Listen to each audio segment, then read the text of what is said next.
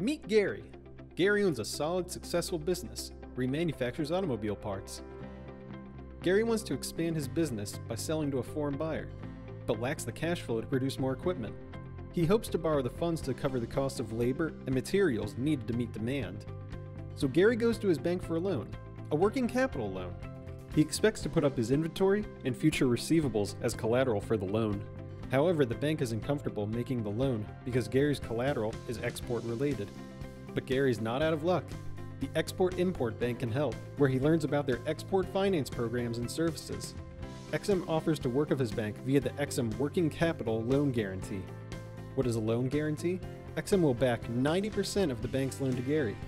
The bank is now guaranteed repayment.